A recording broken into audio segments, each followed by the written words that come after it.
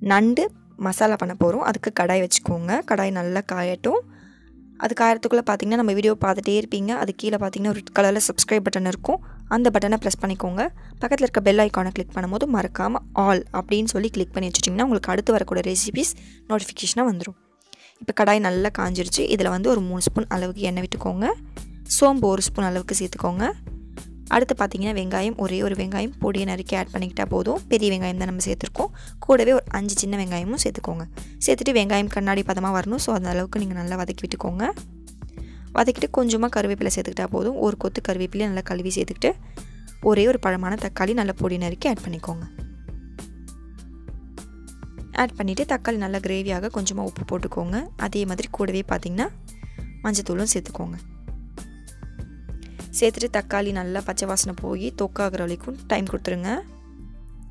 அடுத்து கண்டிப்பாக நம்ம வந்து இஞ்சி பூண்டு பேஸ்ட் சேர்க்கணும். ஸோ ரெண்டு ஸ்பூன் அளவுக்கு சேர்த்துக்கோங்க. நல்லா கெட்டியாக அரைச்சிக்கோங்க. இஞ்சியும் பூண்டு ஈக்குவலாக வச்சு அரைச்சி அந்த மாதிரி சேர்த்துக்கிட்டிங்கன்னா ரொம்ப டேஸ்ட்டாக இருக்கும்.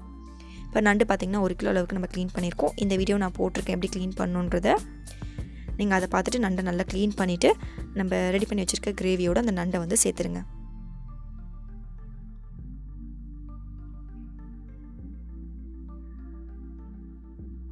இப்போ நண்டு வந்து நம்ம சேர்த்தாச்சு. நல்லா பரட்டி விட்டுக்கோங்க. பரட்ட கொஞ்சம் கஷ்டமாக தான் இருக்கும். ஸோ வந்து நீங்கள் செய்யக்கூடிய பாத்திரம் வந்து நல்லா அகலமாக வச்சுக்கோங்க.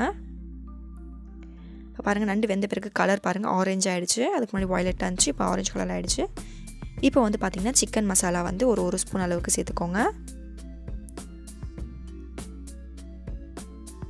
சிக்கன் மசாலா போட்டால் தான் உங்களுக்கு ரொம்ப டேஸ்ட் இருக்கும். ஸோ கண்டிப்பாக வந்து கடையில் வாங்கி சேர்த்துக்கோங்க. இப்போ வந்து குழம்பு மிளகாத்தூள் கண்டிப்பாக ஒரு ஒரு ஸ்பூன் அதாவது காரம் பார்த்து சேர்த்துக்கோங்க.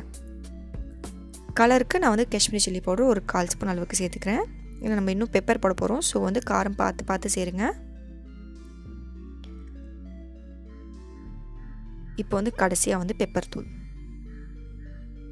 காரம் எந்த அளவுக்கு இருக்கோ பார்த்துட்டு அதுக்கேற்ற மாதிரி ஒரு ஸ்பூன் இல்லை ரெண்டு ஸ்பூன் சேர்த்துட்டு கடைசியாக ஒரு அரை லெமன் புழிஞ்சிட்டு எண்ணெயில் ஒரு ஒரு நிமிஷம் பெப்பர் வந்து வேகிற அளவுக்கு டைம் கொடுத்து பிரட்டி விட்டுட்டு நீங்கள் எடுத்து சர்வ் பண்ணிங்கன்னா பா நல்லா காரசாரமான நண்டு மசாலா உங்களுக்கு பக்காவாக ரெடியாக இருக்கும். நீங்கள் கண்டிப்பாக வீட்டில் ட்ரை பண்ணி பார்த்துட்டு எப்படி வந்து எனக்கு சொல்லுங்கள் டேஸ்ட் எப்படி இருந்துச்சு? நீங்கள் என்ன வந்து மிஸ்டேக் பண்ணீங்க? அதே மாதிரி நான் என்ன மிஸ்டேக் பண்ணேன் அப்படின்றத நீங்கள் கமெண்டில் சொன்னால் மட்டும்தான் எனக்கு தெரியும். ஸோ கண்டிப்பாக ட்ரை பண்ணி பார்த்துட்டு எனக்கு கமெண்டில் சொல்லுங்கள் சொல்ல மட்டும் மறக்காதீங்க. மறக்காமல் நம்ம சேனலை சப்ஸ்கிரைப் பண்ணி வச்சுக்கோங்க ஃப்ரெண்ட்ஸ் பாய் ஃப்ரெண்ட்ஸ்